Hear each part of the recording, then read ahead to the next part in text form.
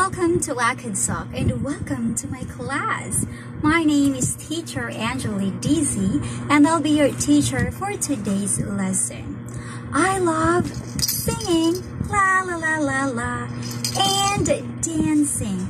I love teaching kids and adults too. I have IELTS and English for Kids certificates.